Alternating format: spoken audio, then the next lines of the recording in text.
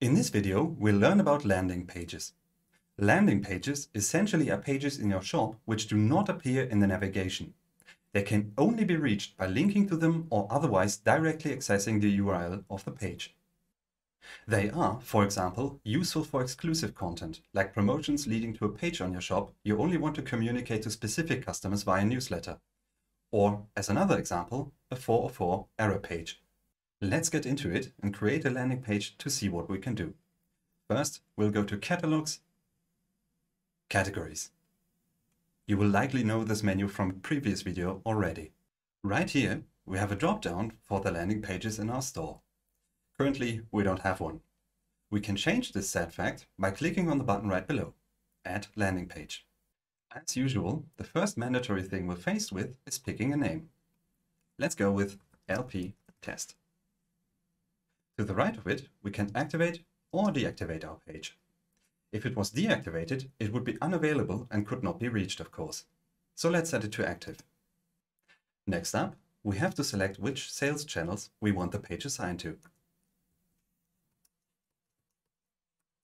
We could also enter tags if we wanted to. The second part of the menu concerns search engine optimization settings.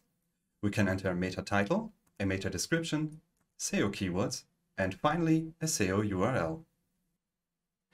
The URL is required because otherwise there'd be no realistic way to reach the landing page.